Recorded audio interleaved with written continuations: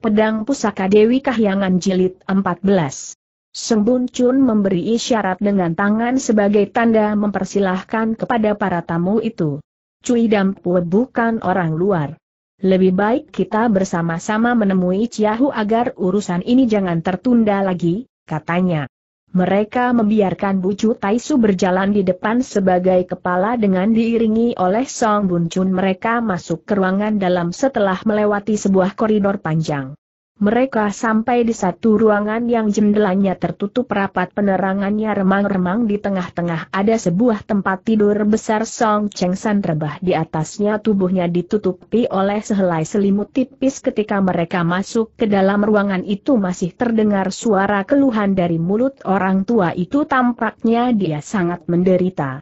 Tokoh yang biasa dihormati dan pernah menjabat sebagai Bulim Beng Chu, ternyata tidak berbeda dengan orang biasa saat ini. Bibirnya terus merintih tidak salah apa yang dikatakan orang banyak bahwa seorang pahlawan hanya takut penyakit melandanya. Sembun Chun meringankan langkah kakinya dia mendekati pembaringan. Tia apakah kau belum tidur sapanya? Bunji, ada urusan apa tanya orang tua itu lirih. Lapor kepada Tia, Bucu Taisu dan Xiao Lim, si, Kantu Tiang dari Patkwa Bun, Beng Ciampu dan Liok Hap Bun, dan Su Tai Hiap Su Pohin dan Butong Pai datang menjenguk kau orang tua, sahut Song Bun Chun. Meskipun racun di tubuhnya sedang kambuh, tapi pikiran Song Cheng San masih jelas. Setelah mengeluh satu kali, dia menggapaikan tangannya dengan susah payah. Cepat antar ke dalam, katanya. Tia, beberapa ciampu ini sudah ada di dajam kamar, sahut Song Bun Chun perlahan. Bunji, cepat papa ayah bangun supaya bisa duduk bersandar. Dengan berban seperti ini, mana mungkin aku bisa menernui tamu kata Song Cheng San tergesa-gesa. Bang Chu sedang tidak sehat, jangan banyak bergerak. Lebih baik rebahan saja sahut Bucu Taisu. Apa yang dikatakan Bucu Taisu memang benar diapan partai besar, semuanya sudah seperti keluarga Chu jangan sungkan, sambungkan si Tong. Pikiran Lao Xiu masih terang bunji, lekas papa aku agar bisa duduk tegak. Beberapa toheng ini sudah bertahun-tahun tidak pernah berjumpa mana boleh berbincang sambil berban kata Song Cheng San Song Bun Chun mengiyakan. Terpaksa dia memapah ayahnya agar duduk sebelah tangannya meraih sebuah bantal yang lalu diletakkan di belakang punggung Song. Cheng San sebagai tumpuan suara laki-laki itu agak serak bola matanya menatap tamu-tamu itu satu per satu. Cui silahkan duduk karena kurang hati-hati, Lao Xiu terkena siasat licik orang jahat. Sungguh merapotkan Toheng Sekahan sampai datang menengok sejauh ini, kata Song Cheng San rupanya dia tidak tahu mengapa tamu-tamu itu dapat berkumpul di rumahnya Song Bun Chun segera mendekati ayahnya. Tia, Bucu Taisu Sekai Ian datang kemari karena ada orang yang memalsukan surat ayah bisiknya. Seng Cheng San terpana. Siapa yang memalsukan surat ayah? Apa tujuannya? Anak juga baru saja mengetahuinya. Sampai sekarang anak belum dapat menduga maksud orang tersebut dia menolehkan kepalanya dan menggapai Ciek Ban Cing Ciek Chongkoan, kemarikan surat itu agar ayah dapat melihatnya. Ciek Ban Ching mengiyakan baru saja tangannya merogoh surat pemberian Bucu Taisu dari balik saku bajunya. Tidak usah dilihat lagi Bun Ji, cepat ajak Taisu sekalian duduk beberapa toheng ini sangat jarang datang ke Tian Huasan Cheng Ban Cirek, pesankan pada bagian dapur agar menyediakan beberapa macam hidangan yang sesuai dengan araknya sekalian, kemudian antarkan ke kamar ini, tukas Song Loyacu. Sekali lagi Ciek Bancing mengiyakan dan meletakkan surat tadi di alas meja dan keluar dari kamar tersebut. Tia, Yo Heng sudah mendapatkan obat penawar racun dia khusus stang untuk mengantarkan obat bagaimana kalau Tia minum sekarang saja kata Sao Cheng Chu. Seng Cheng San agak terpana. Oh titik. Seng Loya Chu, untung saja Boan Seng dapat menepati janji akhirnya obat penawar racun ini berhasil didapatkan juga, kata Yok Chun. Metu Song Cheng San mengerling dia melihat botol obat di tangan pemuda itu orang tua itu termangu-mangu sejenak. Bagaimana kau mendapatkan obat penawar itu tanyanya. Seng Bun Chun menyambut botol obat tersebut. Tia, Yok Heng mendapatkannya dari Tiongkok Niu. Lebih baik Tia segera meminumnya agar racun dalam tubuh dapat punah selekasnya, tukasnya. Seng Cheng San menerima botol obat itu dari tangan anaknya, dia memperhatikan beberapa lama kepalanya manggut-manggut. Budi Yok Sau Hia akan Lao Siu ingat selamanya. Ucapan Song Ioye Acu terlalu berat. Bo Seng diperalat oleh orang jahat mengantarkan surat beracun. Seng Loyacu sama sekali tidak menyalahkan Bo Anseng, padahal persoalan ini memang terjadi karena diri Bo Anseng. Sebetulnya hati ini sangat malu. Upaya mencari obat penawar racun hanya sekedar memperlihatkan ketulusan hati Bo Anseng, sahut Yok Sao Chun sopan. Kembali Song Cheng San mengangguk-anggukan kepalanya. Yok Sau Hiap ternyata seorang yang dapat membedakan budi dan dendam benar-benar jarang ditemui orang seperti Yok Sau Hiap, katanya. Seng Bun Chun menuangkan secawan air hangat dan disodorkannya kepada orang tua itu, Seng Cheng San segera membuka botol obat itu dan dituangkannya ke dalam telapak tangan.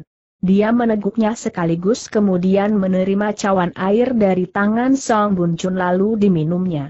Botol obat yang sudah kosong itu disimpannya di balik bantal. Perlahan-lahan matanya dipeamkan tepat pada saat itu, terlihat tirai penghubung disingkapkan Ciek Bancing masuk dengan tergesa-gesa. Kongcu, Liok Tot yang dari Ciong Lempai datang berkunjung, katanya. Dia menolehkan kepalanya. Liok Tot yang, silahkan masuk. Betum sempat Song Bun Chun menyambut di depan ruangan terlihat seorang toti yang dengan pakaian hijau dan rambut hitam pekat melangkah masuk. Tamu yang datang memang Chiong Lam Hui Hang Isu, pendekar lelangi terbang, Liok Hui Peng Song Bun Chun segera menyambutnya dan menjurap penuh hormat. Cai Hai terlambat menyambut kedatangan Liok Tot yang, harap maafkan. Hui Hang Isu segera membalas penghormatan itu. Dia tertawa santai. Sao Cheng Chu tidak perlu sungkan. Pintun mendengar Bucu Taisu, Kan Heng, Beng Heng, Su Tai Hiap semua sudah sampai lebih dahulu dan sekarang berada di dalam kamar Beng Chu. Tanpa memperdulikan peradatan lagi, Pintun meminta Ciek Chong Koan menunjuk jalan dia menjura kepada setiap orang yang ada di kamar itu, kemudian menoleh kepada Song Cheng San yang terbang di atas tempat tidur dia lalu bertanya kepada Song Bun Chun. Apa yang terjadi dengan Beng Chu? Ciahu terserang racun jahat. Barusan sudah meminum obat penawarnya, sahut Song Bun Chun. Sao Cheng Chu, Beng Chu baru saja minum obat tentu butuh istirahat lebih baik kita berbincang di luar saja, kata Bu Chu Taisu menganjurkan. Taisu harap duduk saja Lao Cheng Chu sudah menelan obat penawar pada umumnya, setelah menelan obat penawar, sebentar lagi akan pulih seperti biasa tadi Lao Cheng Chu memesan kepada Lao Xiu agar meminta bagian dapur menyiapkan hidangan dan dibawa ke kamar ini. Mungkin lebih santai kalau berbincang-bincang di tempat ini maksud Lao Xiu, Cui tidak perlu sungkan lagi baru saja perkataannya selesai, terlihat seorang dayang perempuan masuk mengantarkan berbagai macam masakan dan arak. Wi Ting Sin Tiawa duduk berdekatan dengan Hui Hang Isu dia bergeser sedikit agar dapat berbisikan dengannya. Kebetulan Ciok Heng datang kemari ada satu persoalan yang ingin Heng Te tanyakan. Entah apa yang ingin diketahui oleh Beng Heng tanya rekannya.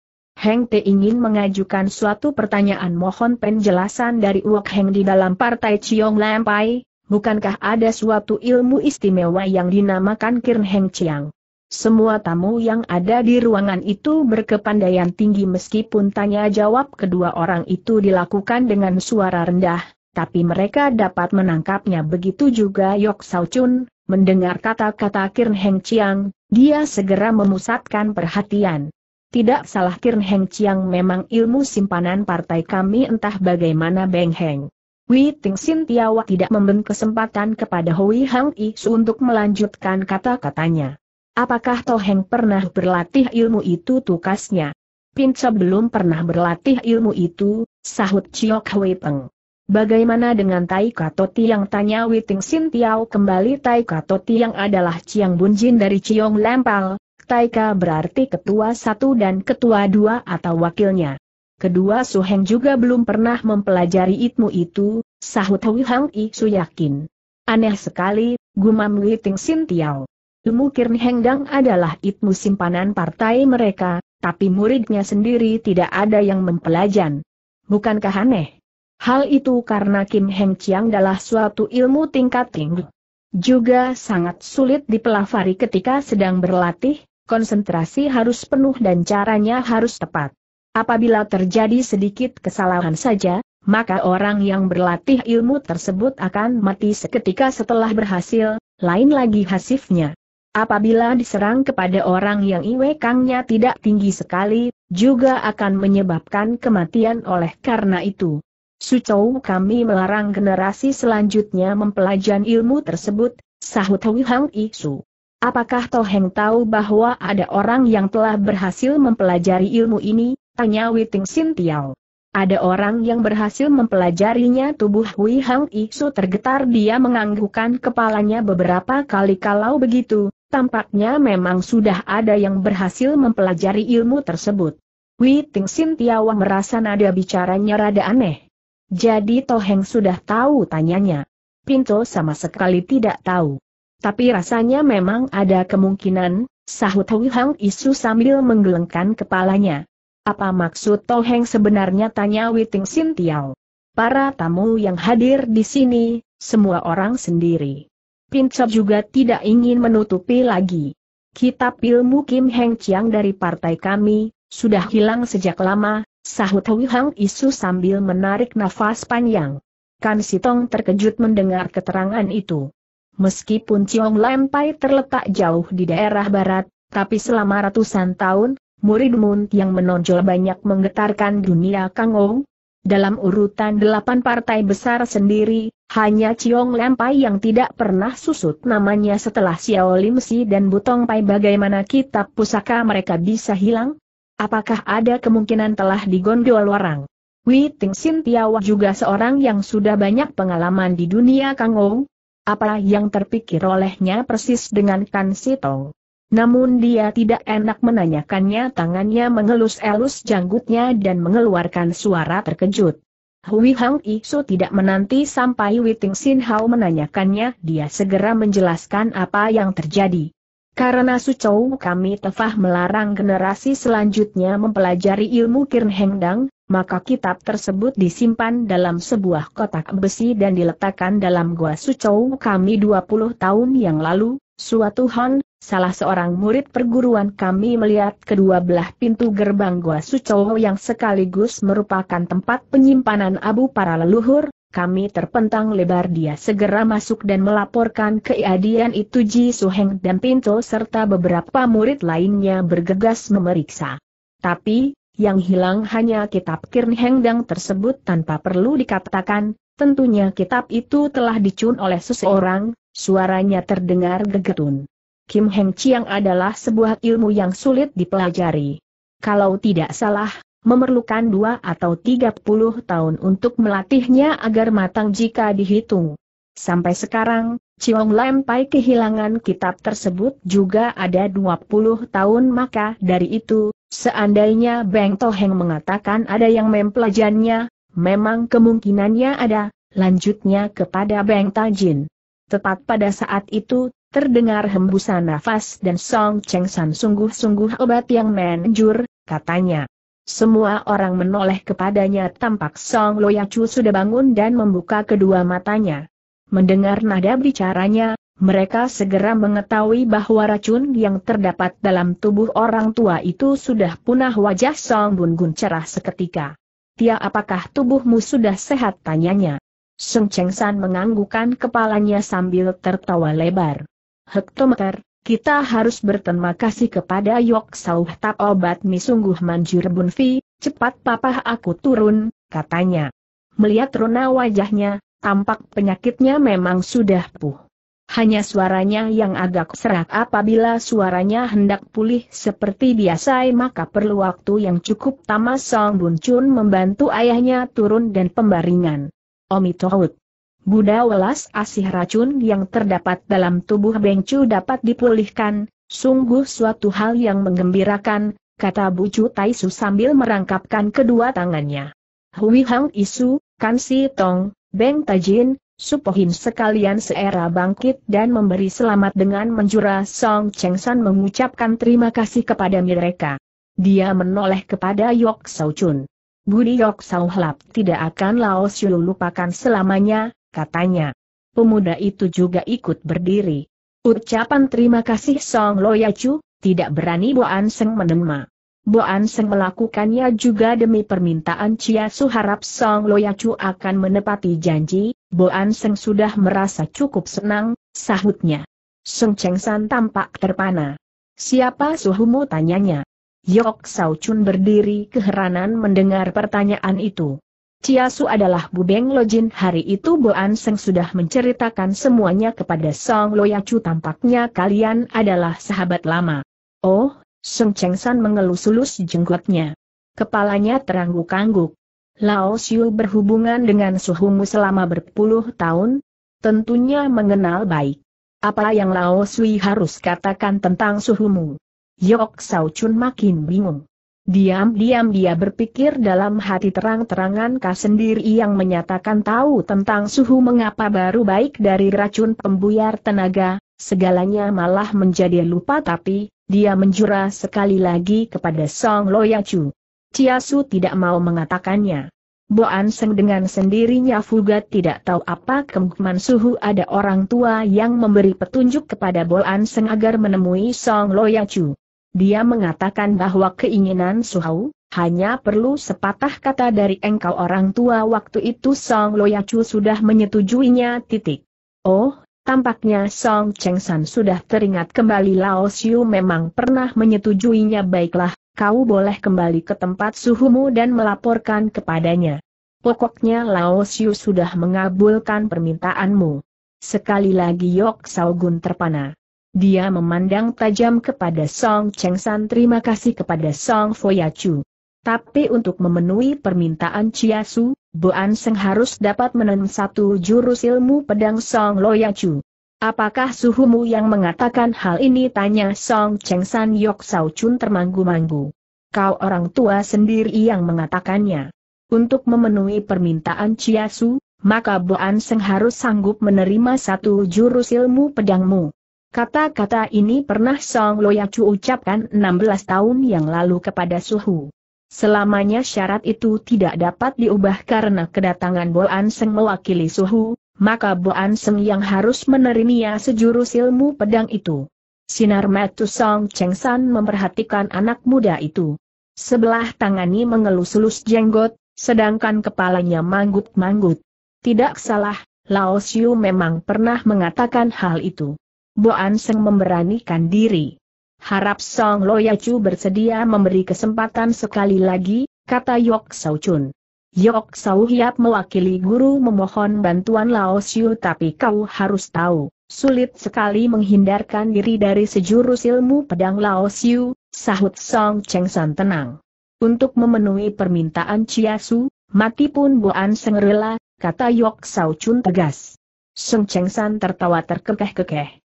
Yok Sao Hiap sengaja mengantarkan obat penawar untuk Lao Xun mungkinkah aku orang tua tega melukaimu? Kalau begitu, harap Song Loya Cumutai sekarang juga. Apakah kau ingin bertanding di sini? Tanya Song Cheng San pertama kali kita bertarung juga di dalam rumah ini, sahut Yok Sao Gun. Baik, kata Song Cheng San dia menolehkan kepalanya dan memanggil Ciek Bancing, Bancing, ambil pedang Lao Siu. Seng Gun Gun yang berdiri di sampingnya terkejut. Tia, pertarungan antara kau orang tua dengan Yok Heng hanya semacam ujian saja. Mengapa harus menggunakan pedang tanyanya? Seng Cheng San mengulapkan tangannya. Bibirnya tersenyum. Anak, apakah kau meminta ayahmu jangan menggunakan pedang? Yok Sao Chun makin tidak mengerti melihat sikap orang tua itu. Tia, Han itu kau hanya menggunakan sebatang sumpit untuk bertarung dengan Yok Heng bahkan kau berhasil mematahkan ujung pedangnya, kata Song Bun Chun ikut bingung. Tidak salah, tidak salah hari itu ayah memang hanya menggunakan sebatang sumpit dan berhasil mematahkan ujung pedang Yok Sau Hiap. Tapi, sekarang tenaga ayah masih belum pulih betul mungkin. Ciok Ciulan yang duduk di samping Jok Sao Chun sedari tadi diam saja tiba-tiba dia membuka suara.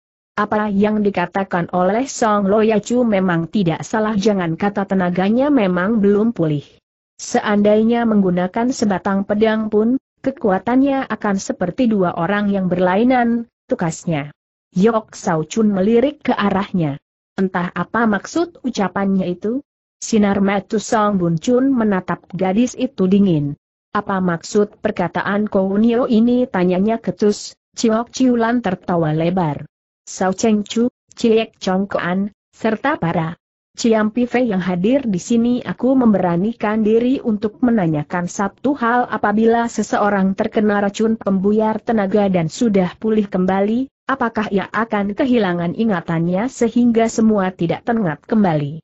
Pengalaman Song Bun Chun dalam dunia Kangou masih cetek dia tidak tahu arah pertanyaan Ciok Ciulan dia hanya merasa pertanyaan itu rada aneh. Berbeda dengan Ciek Bancing dia mengikuti Song Cheng San sudah berpuluh tahun, pengalamannya juga jauh lebih banyak. Hatinya tergerak. Lao Shu tidak mengerti penggunaan racun. Tapi kalau ditinjau dari biasanya selain racun penghilang ingatan, rasanya racun yang lain tidak mempunyai pengaruh seperti itu. Mungkin kalau racun itu sedang kambuh, orangnya akan jatuh tidak sadarkan diri. Namun setelah meminum obat penawar, keadaannya akan kembali seperti biasa, sahutnya.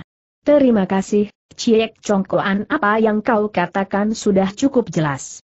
Kalau menurut pendapat Ciek Congkoan, apakah racun dalam tubuh Song Loyacu sudah hilang semuanya tanya Ciok Ciulan kembali. Tadi Lao Cheng Chu sudah menyatakan tiahwa kesehatannya sudah pulih tentu saja racun itu sudah hilang semua, sahut Ciek Bancing. Kalau begitu, mengapa Song Loyacu tidak ingat lagi pembicaraannya dengan Yok Toako hari itu?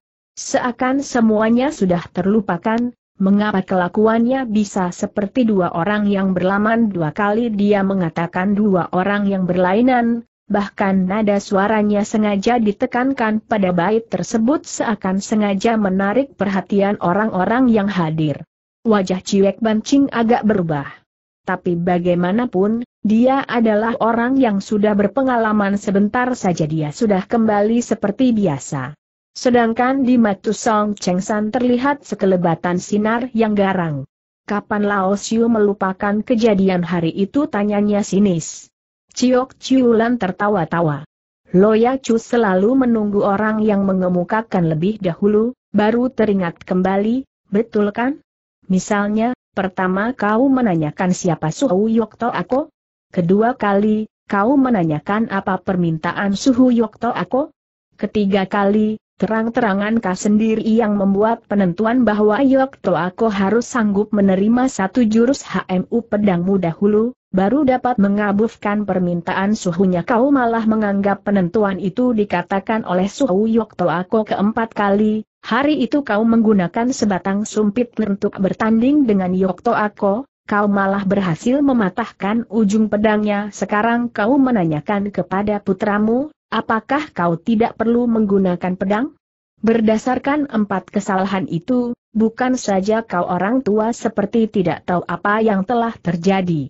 Bahkan bagaikan dua orang yang berlainan, katanya. Tentang persoalan ini, Mungkin saja Lao Xiu ada yang terlupa. Kou Nio sepertinya menghitungnya satu per satu, sahut Song Cheng San sambil menampilkan senyuman lebar. Ciok Ciulan ikut tersenyum.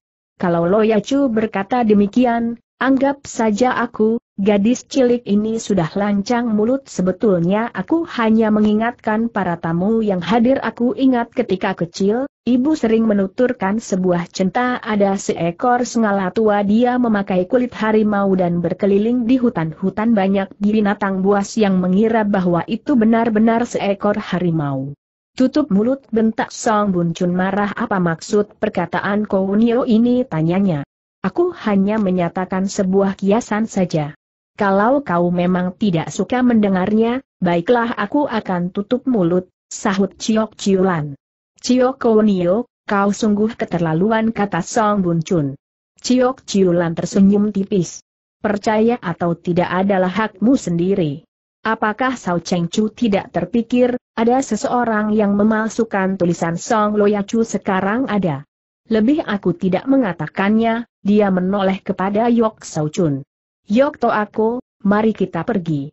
Kau juga terlalu keras kepala. Kedatangan kita ke Tian Hua San Cheng adalah untuk mengantarkan obat penawar, dan ingin memohon bantuan Song Loya Chu agar permintaan suhuku dapat terpenuhi, gerutu Yok Sao Chun. Yok Sao Chun mendengus, kemudian dia tertawa geli. Yok To Ako, sayang sekali. Kau telah salah alamat. Meskipun Song Loyacu ini mengucapkan berapa ratus kata, permintaan suhumu juga tidak akan terpenuhi serunya lantang. Belum sempat Yok Gon menyahut, Ciek Bancing telah menghadang di depannya dengan wajah berubah. Cio Kownio, nyalimu sungguh besar. Di depan Lo Cheng Chu berani memandang rendah Tian Hua San Cheng. Apabila kau tidak menjelaskan kata-katamu tadi, jangan harap dapat meninggalkan tempat ini bentaknya keras ketika itu dia sedang membelakangi Song Cheng San, Seng Bun Chun dan para tamu yang lamnya meskipun mulutnya mengeluarkan suara bentakan, tapi matanya berkedip kepada Ciok Ciulan. Tentu saja Ciok Ciulan mergerti dia tertawa lebar baru saja dia hendak mengucapkan sesuatu. Terlihat Song Cheng San mengibaskan tangannya. Bang Ching, kalian tidak boleh menyusahkan Ciok Konyo. Kalau dia memang hendak pergi. Biarkan saja, katanya. Loa Cheng Chu, Ciok Kounio mengeluarkan kata-kata yang tidak sopan di hadapan para tamu dari berbagai partai besar bagaimana kita boleh membiarkan dia pergi tanpa penjelasan sahut Ciek Bancing. Sudahlah, sudahlah sekali lagi Song Cheng San melambaikan tangannya biarkan dia pergi. Seng Loyacu sungguh berjiwa besar. Tapi kalau aku tidak menerangkan maksud perkataanku, bukankah aku akan dianggap sembarangan mengoceh saja kata Ciok. Ciulan. Ciok Kownio, Ciahu sudah tidak perdebatkan lagi masalah ini. Apa sebetulnya yang engkau inginkan tanya Song Bun Cunggarang. Yok Sao Chun juga merasa Ciok Ciulan tidak benar dia segera membuyuknya. Ciulan, kau jangan berkata apa-apa lagi, katanya. Ciok Ciulan tidak memperdulikannya suaranya semakin lantang. Sao Cheng Chu, aku memang orang yang tidak mengenal sopan santun. Tapi kalau aku pergi tanpa mengatakan sesuatu, takutnya Tian Hua San Cheng akan mengalami keruntuhan di depan mata. Sembun Chun benar-benar panas mendengar perkataannya. Dengan mengandalkan kepandaian kau, Ciok Ciulan dapat meruntuhkan kejayaan Tian Hua San Cheng bentaknya sinis. Yok Sao Chun tidak menyangka Ciok Ciulan begitu kurang ajar, dia tergesa-gesa berdiri dan menjura dalam-dalam. Loya Chu, Song Heng, harap memang Cai He. Rupanya Sao Cheng Chu salah paham. Yang akan meruntuhkan keiayaan Tian Hua San Cheng bukan aku, tetapi kemungkinan besar Song Loya Mi sendiri, tukas Ciok Ciulan kali ini Song Cheng San tidak dapat menahan diri lagi. Bang Ching, Bunji, mengapa kalian masih tidak mengusirnya dari sini bentaknya keras sambil memalingkan muka. Ciok Ciulan tertawa dingin. Pasti ada maling yang tersinggung karena ucapanku, maka ingin diriku segera diusir dari sini. Kering pedang Song Bun Chun telah terhunus dari sarungnya. Matanya mendei ke arah Ciok Ciulan. Ciok Ciulan, kalau kau masih mengoceh terus, Kong Cumu akan membuat kau mandi darah di tempat ini katanya sinis. Mucu Taisu segera mendekati kedua orang itu dan merangkapkan sepasang telapak tangannya. Omi Tohut. Biar Pinceng menjadi orang tengah kesalahan ada di pihak Li Si Chu ini. Bang Chu menganggap kau masih muda dan belum mengerti titik. Ciok Ciulan tertawa dingin. Tampaknya Lao Su yang sudah tua masih belum mengerti apa-apa tukas gadis itu dengan berani. Bocah perempuan tidak tahu dari kau mengeluarkan kata-kata yang tidak sopan terhadap Beng Chu, sekarang kau masih menghina Bu Chu Taisu tampaknya kau memang tidak memandang sebelah mata kepada kami satu bentak hulhang is ulantang. Pedang di tangan Song Bun Chun diulurkan ke depan Ciek Bun Ching segera menghalanginya. Sao Cheng Chu tidak boleh menggerakkan pedang. Maksud Lao Xiu dia sengaja memfitnah Lao Cheng Chu di hadapan orang banyak menurut peraturan dunia Kangou, maka dia harus menjelaskan semuanya agar terang kalau dia tidak dapat mengemukakan alasan yang tepat, kita baru boleh turun tangan terhadapnya, kata Ciek Ban Ching sambil menawil ujung lengan baju Song Bun Chun secara diam-diam, hati pemuda itu terpana. Ciok Ciulan, kau anggap Tian Hua San Cheng tempat apa sehingga kau boleh sembarangan mengoceh? Kalau Kavi tidak menjelaskan semuanya di hadapan para tamu ini, tampaknya Yok Sau Hiap juga tidak sanggup melindungi dirimu lagi, kata Ciek Ban Ching lantang. Apakah Ciek Chong Kean benar-benar mungkin aku mengatakannya tanya Ciok Ciulan santai. Bancing, mengapa kau masih tidak menggiringnya keluar? Apakah harus lohu sendiri yang turun tangan bentak Song Cheng San marah? Ciok Ciulan meliriknya dengan ujung mata bibirnya tersenyum mengejek. Mengapa? Kau mulai ketakutan tanyanya. Wajah Song Bun Chun merah padam karena marah dadanya hampir meledak tapi sekali lagi dia terpaksa menahan diri karena kedipan matu Ciek Ban Ching Song Bun Chun tahu Chong Keannya itu banyak pengalaman. Otaknya juga sangat cerdas sekali lagi dia mengedipkan matanya sebagai isyarat, tentu mengandung maksud tertentu karena itu, Song Bun Chun menggertakkan giginya dan menyabarkan diri. Hui Hang Isu bangkit dengan mata mendelik. Budak cilik, kau titik. Wi Ting Sin Tiawa cepat-cepat menarik Hui Hang Iksu agar duduk kembali. Harap Toheng jangan marah urusah ini biar diselesaikan oleh Ciek Chong Koan, katanya Er Chiok Ciulan tertawa sumbang.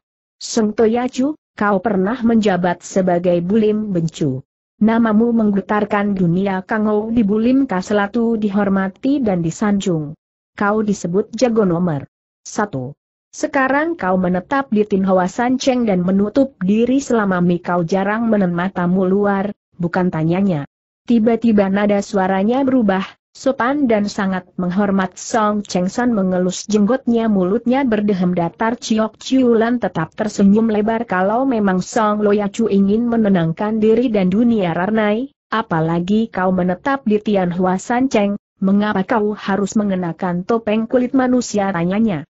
Mendengar kata-kata Chok Ciulan, wajah setiap orang yang ada di ruangan itu berubah seketika Bulim Toalo Song Toyacu mengenakan topeng kulit manusia. Di antara orang-orang yang ada di ruangan itu, hanya Song Bun Chun dan Yok Sao Chun yang pengalamannya masih cetek. Sedangkan yang lainnya merupakan tokoh-tokoh yang sudah banyak makan asam garam mereka segera mengerti apa yang dimaksud oleh Ciok Ciulan seandainya Song Cheng San yang ada di hadapan mereka sekarang benar-benar mengenakan topeng kutip manusia, tentunya dapat dipastikan dia adalah Song Loya Chu Patsu. Tangan Song Cheng San kembali mengelus jenggotnya matanya menatap tajam ke arah gadis itu. Budak cilik coba katakan, Bagaimana kau bisa melihat kalau Laosi mengenakan topeng kulit manusia tanyanya dengan suara berat. Mendengar nada bicaranya, dia seakan sudah mengakui bahwa dia memang mengenakan topeng kulit manusia. Para tamu yang hadir adalah tokoh-tokoh dan sebagian delapan partai besar dengan kedudukan seperti Song Loyacu, Tentu tidak ada yang menaruh curiga berbeda dengan diriku. Aku sudah mengikuti ibu berkelana di dunia Kangou sejak kecil, berbagai macam manusia sudah pernah kuternui. Tadi kau menuang obat penawar ke dalam telapak tanganmu, tindakanmu itu hanya pura-pura saja obat itu sama sekali tidak kau minum. Hatiku sudah langsung curiga tepat pada saat itu. Aku melihat kau mengangkat tanganmu dan berbuat seakan kau sudah meminum obat itu. Warna pada lehermu dan wajahmu sangat berbeda. Hanya orang yang mengenakan topeng kulit manusia baru terlihat perbedaan warna kulit seperti itu, dia menarik nafas panjang baru kemudian melanjutkan kembali. Kemudian, berkali-kali kau lupa apa yang pernah kau ucapkan dengan Yokto aku. Kau bagai dua orang yang berlainan. Waktu itu aku segera mengetahui bahwa kau bukan Song Loyacu yang sesungguhnya, tapi wajahmu mengenakan sehetai topeng kulit manusia yang dibuat serupa dengan Song Loyacu. Ciek Ban Ching menganggukkan kepalanya berkali-kali. Kalau soal ketelitian, memang kaum perempuan lebih cermat sedangkan aku sendiri, meskipun merasa Lao Cheng Chu agak aneh, tapi tidak terpikir sampai sejauh itu, katanya lirih. Mendengar kata-kata itu, Seng Cheng San segera tertawa terkekeh-kekeh kepalanya manggut-manggut. Bocah cilik, pandangan matamu memang tajam. Lao Xiu memang mengenakan topeng kulit manusia, tangannya perlahan-lahan diangkat. Dan bagian lehernya, dia menarik ke atas. Terlihat sehelai topeng kulit manusia terkelupas secara utuh begitu topengnya terbuka, semua orang dapat melihat bahwa yang duduk di hadapan mereka memang bukan Song Loyachu. Alisnya pendek, matanya berbentuk segitiga wajahnya kecil dan panjang tampaknya berusia sekitar lima puluhan bibirnya mengembang secarik senyuman dingin. Tidak ada seorang pun yang pernah mengenalinya Beng Chu berubah menjadi orang lain tentu saja Bu Chu Taisu dan semua yang hadir terpana saking terkejutnya, mereka bangkit dari kursi serentak. Metu Song Bun Chun mendelik besar. Pedang di tangannya diangkat kakinya maju satu langkah. Kau, siapa engkau bentaknya? Ciek Bang Ching sekstra memegang tangan pemuda itu dan membujuknya. Sao Cheng Chu tenangkan hatimu katanya. Muka yang tipis dan panjang itu datar sekali. Senyumannya juga sangat dingin menggidikkan siapa pun yang memandangnya. Lohu adalah Suo Yeihu baru pertama kali mi berjumpa dengan kalian, ujarnya sambil menjura. Ciok Ciulan tertawa dingin. Long Sanir Pei, sejenis binatang yang langka dengan kaki depan pendek dan biasanya selalu menumpu di belakang serigala sebagai penuntun jalan, adalah julukan yang diberikan orang padamu, katanya. Pandangan Kounio ternyata amat luas. Sampai julukan lohu pun, engkau tahu, sahut Suoya Ihu.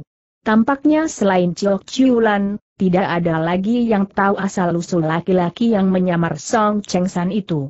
Di mana ayahku tanya Song Bun Chun. Suoya Ihu mengelus-elus jenggotnya dengan tenang bibirnya tersenyum-senyum. Harap Sao Cheng Chu jangan khawatir Song Loya Chu baik-baik saja. Di mana Chiahu sekarang bentak Song Bun Chun sekali lagi. Song Loya Chu berada di kediaman majikan Lohu dia dianggap sebagai tamu agung, sahut Suoya Ihu. Sinar matu Ciek Bancing seperti anak panah yang siap meluncur. Manusia siswu. Sebetulnya rencana busuk apa yang akan kalian jalankan? Lebih baik katakan saja terus terang, katanya lantang. Suoye Ihu tertawa sinis. Majikan Lohu sangat mengagumi Song Loyachu. Maka dan TTU sengaja mengajaknya menetap di tempat kami tidak ada rencana busuk seperti yang kau duga sahutnya. Baik kalau begitu, tolong velaskan siapa majikanmu dan di mana tempat tinggalnya tanya Ciek Buncing sekali lagi. Tentang ini harap maafkan ketika Heng Te datang kemari, majikan tidak membenpesan apa-apa Heng Te tidak berani mengatakannya, sahut Suwaya Ihu. Apakah saudara tahu tempat apakah ini tanya Ciek Bancing. Suwaya Ihu tertawa kering. Heng Te datang ke sini bukan baru sehari dua han, bagaimana tidak tahu tempat apa ini sahutnya. Kalau tahu bagus. Mata ini seandainya kau tidak menjelaskan segalanya jangan harap keluar dan tempat ini kata Ciek Bancing tajam. Suoye Ihu mengenakan kembali topeng kulit manusianya. Dia tertawa. Heng Te sama sekali tidak berniat meninggalkan tempat ini, sahutnya. Dengan tenang dia merapikan topeng di wajahnya Heng Te menerima perintah dari majikan datang ke Tian Hua San Cheng sebagai sandera. Satu hari Song Loyacu tidak kembali, Heng Te juga tidak akan pergi dari sini.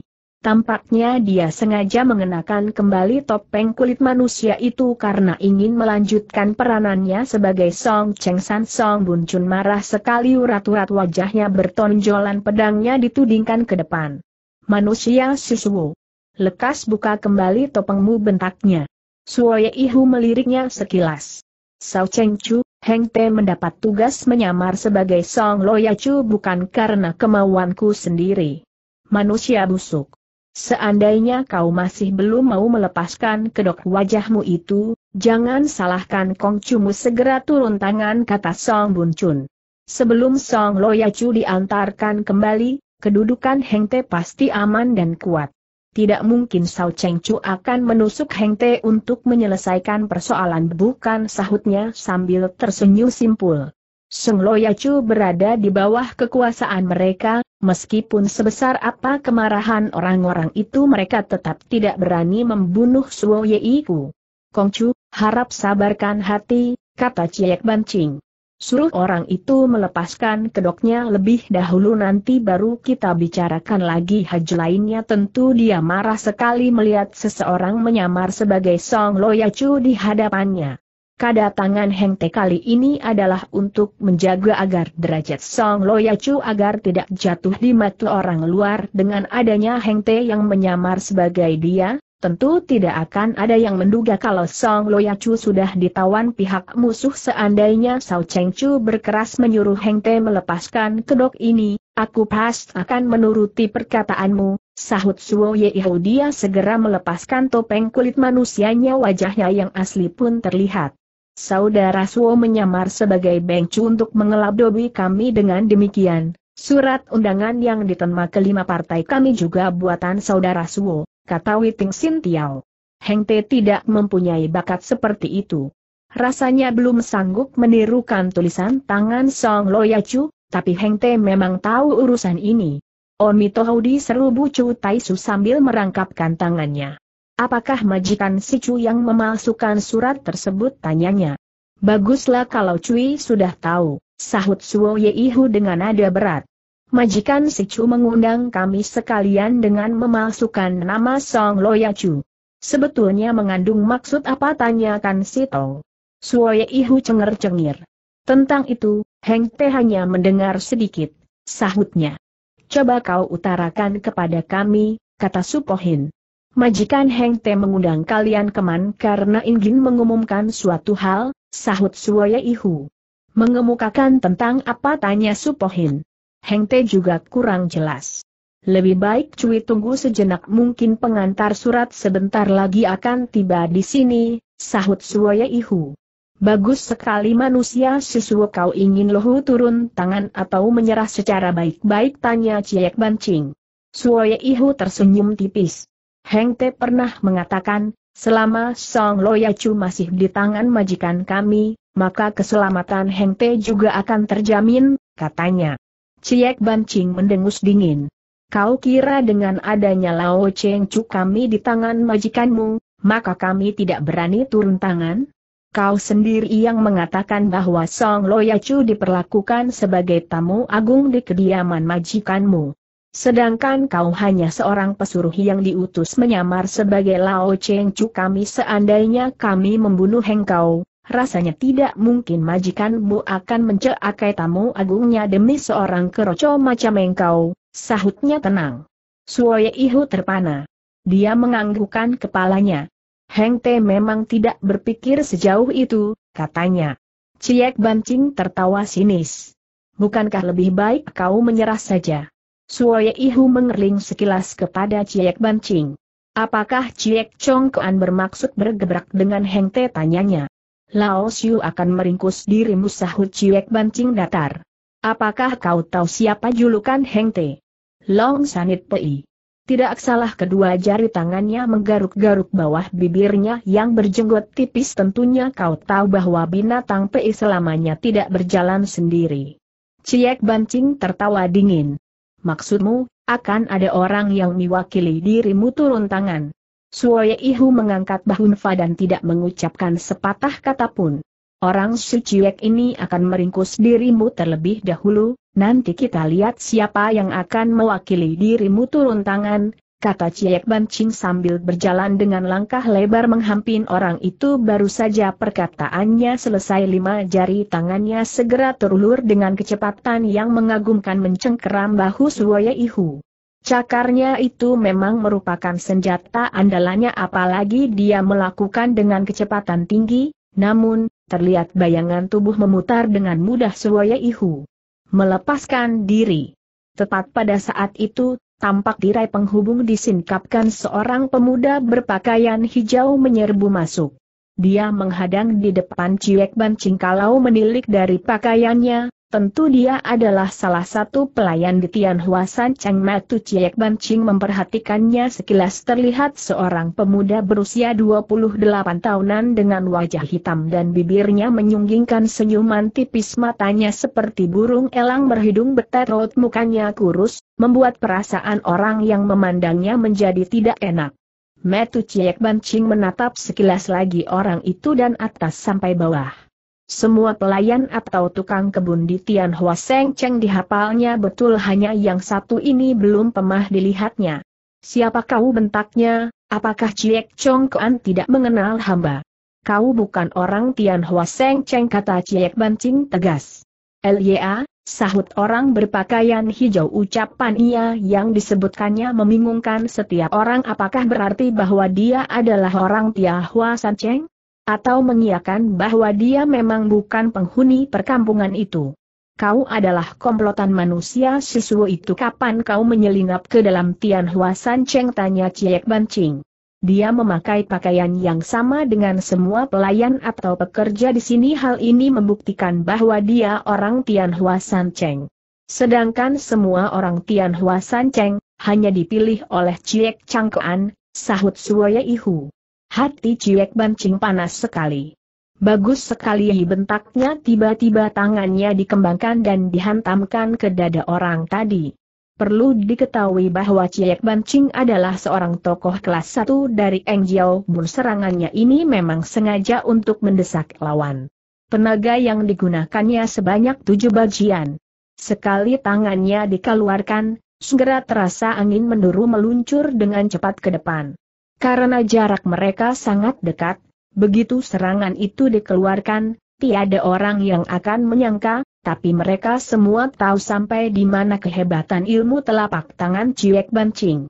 Manusia berpakaian hijau itu tidak mengatakan apa-apa dia juga tidak berusaha untuk menghindarkan diri dengan gerakan yang sama, telapak tangannya dikembangkan dan menyambut serangan Ciek Bancing dengan kekerasan. Dalam bentrokan ini, yang satu melancarkan serangan sedang yang lain menyambut, tentu saja dengan cepat kedua telapak tangan itu beradu. Belam tampaknya kedudukan mereka seimbang karena keduanya terdesak mundur satu langkah Ciek Ban Ing sempat termangu-mangu. Orang ini usianya masih sangat muda, namun kekuatan tenaga dalamnya tidak kalah dengan aku dengan kepandaiannya sekarang, tampaknya dia bukan seorang bubengket, prajurit tanpa nama. Mengapa aku tidak pernah mendengar tentang orang ini di dunia Kangou pikirnya dalam hati. Dia segera mengembangkan telapak tangannya sekali lagi. Terimalah serangan Lao Xiu ini teriaknya. Kedua belah bahunya ditegakkan bentuk tubuhnya yang memang tinggi besar semakin mengembang dia menggunakan sebuah jurus andalannya tenaga dalamnya dikumpulkan sebanyak sepuluh bagian tujuan serangannya adalah muka orang berpakaian hijau itu. Karena jarak mereka sekali ini agak berjauhan, dia sengaja memamerkan kekuatan telapak tangannya. Laki-laki berpakaian hijau itu tetap tidak menyahut sepatah pun lengan sebelah kirinya diulurkan dia menggerakkannya ke arah atas dan menyambut telapak tangan Ciek Bancing seperti semula Ciek Bancing jadi marah sekali. Sungguh seorang manusia yang tidak tahu arti kematian katanya telapak kanannya masih menuju ke depan, Kaki kirinya menendang mengarah ke bagian perut lawan. Manusia berpakaian hijau itu tidak tampak panik, lengan kinya masih diarahkan ke atas. Melihat kedatangan tendangan kaki Ciwek Bancing, tangan kanannya segera dikibaskan ke bawah kecepatan mereka sama. Dalam waktu singkat, seluruh anggota tubuh mereka saling membentur. Blam. Blam terdengar suara keras dua kali berturut-turut. Kekuatan telapak tangan kiri manusia berpakaian hijau itu masih kalah sedikit dari Ciek Bancing, tubuhnya terpelanting ke tanah, tapi sebelumnya lengan kanannya sempat menangkis tendangan kaki lawan ilmu yang digunakannya adalah Sua Teng Kiohon, memantulkan suara di atas gunung. Semakin kuat serangan lawan, empat pakai daya tangkisnya pun semakin kuat.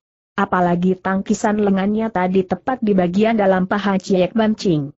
Tanpa dapat dicegah, tubuh Ciek Bancing terpental jauh. Dia hanya merasakan bagian dalam pahanya nyeri sekali hampir saja dia tidak sanggup bangkit. Song Bun Chun segera menghampiri dan memapahnya. Bagaimana keadaan Ciek Chong Koan tanyanya. Ciek Bancing menggertak gigi. Tidak apa-apa Lao Siu hanya mengalami luka iwar yang tidak berarti. Manusia berpakaian hijau itu juga sedang berusaha berdiri. Tubuhnya yang mendeprok di tanah ditumpu dengan kedua telapak tangannya tenaganya disayurkan dan sekali hentak, tubuhnya melesat ke arah luar kebetulan dia lewat di samping supohin pedang di tangannya segera bergerak, menuding ke arah leher laki-laki itu. Apakah kau bermaksud kabur bentaknya? Tepat pada saat itu, tirai penghubung bergoyang, sesosok bayangan hijau kembali menyerbu ke dalam ruangan. Yok Sao Chun dan Chiok Cem Lan sudah menepi ke bagian sudut mereka berdiri bahu-membahu. Tampaknya orang ini juga komplotan penjahat itu, kata Yok Sao Chun dengan nada lirih. Kemungkinan besar Tian Hua San Cheng sudah dimasuki komplotan mereka, sahut Chiok Ciulan. Wajah Suo Yeihu mengembangkan senyuman licik tangannya menjentik perlahan tampak manusia berpakaian hijau yang datang belakangan berkelebat pedangnya diputar semarnya menyilaukan matu dengan pesat menangkis pedang supohin yang terarah di leher manusia berpakaian hijau yang pertama seakan orang tersebut sudah menjadi tanggungannya. Supohin yang melihat kedatangan manusia berpakaian hijau yang kedua itu dengan sekali gerak sudah berhasil membebaskan kaki tangannya, menjadi marah seketika pedangnya ditarik kembali. Apakah kau kira aku tidak berani membunuhmu bentaknya keras? Tangan laki-laki itu masih menggantungkan pedangnya di udara dia menatap Supohin dengan pandangan dingin mulutnya tidak berkata apa-apa. Pedang di tangan Supohin digetarkan. Supohin tidak membunuh Bu Beng Xiao Kat laporkan namamu katanya. Manusia berpakaian hijau itu tertawa dingin. Dengan mengandalkan butong Kiam Hoat, kau masih betul sanggup membunuh aku. Buat apa melaporkan nama sahutnya ketus. Sifat Supohin memang rada angkuh mendengar ucapan itu, hatinya panas sekali. Dia tertawa terbahak-bahak. Kalau begitu, cobalah butong Kiam Noatku ini, tenaknya. Pedangnya yang lurus terulur kira-kira tiga empat cun di hadapan manusia berpakaian hijau. Pergelangan tangan digoncangkan, getarannya menimbulkan suara menggelegar dan menimbulkan segulungan sinar pedang. Manusia berpakaian hijau itu menatap dengan tenang. Bertarung dengan mengadu nyawa, buat apa harus memakai jurus anak kecil seperti itu sindirnya tajam. Tiba-tiba tangannya bergerak, Kelebatan pedangnya menerjang ke dayam gulungan sinar pedang Supohin jurus ini, ternyata sangat hebat. Supohin terkejut mendengar nada bicaranya yang seakan memandang remeh Butong Kiam Hoat. Dia semakin marah tetapi pedang lawan sedang menuju lurus ke arahnya, dia tidak berani menganggap penteng lawannya itu kakinya mundur setengah langkah, pedang panjang dihunjamkan ke depan dan membuat sebuah lingkaran lemu yang dimainkan manusia berpakaian hijau itu sangat istimewa. Dia tidak menghindar, tapi malah memasukkan pedangnya ke dalam lingkaran pedang supohin gerakannya seakan sengaja diciptakan untuk mengimbangi butong Tiam Hoat hampir-nampir supohin tidak mempunyai kesempatan untuk membalas. Lawannya menyerang tiga kali, dia juga terdesak mundur tiga langkah. Namun terdesaknya dia malah membawa keberuntungan. Dia sempat berpikir dalam keadaan tenepit cepat-cepat. Dia mengatur nafasnya dan menenangkan hatinya. Pergelangan tangannya diangkat lamba-mambat dia merubah gerakannya. Supohin adalah sute dari Butong Jicu Toti yang lemunya cukup lihai. Meskipun dia senang berkelana di dunia Kangou, Tep kebanyakan menerima tugas dan suhengnya atau menolong orang yang kesusahan. Karena dia adalah sute dari Chiang Bunjin Butong Pai, maka para kawanan Bulim juga memandangnya dari sudut yang lain dia selalu dihormati dan jarang bertarung dengan orang. Oleh sebab itu, pengalamannya dalam bertarung memang kurang banyak. Dia sudah berusaha sekuat tenaga pertama-tama dia mulai dapat mengimbangi manusia berpakaian hijau itu, tetapi karena kurangnya pengalaman itulah berkali-kali dia terkecoh.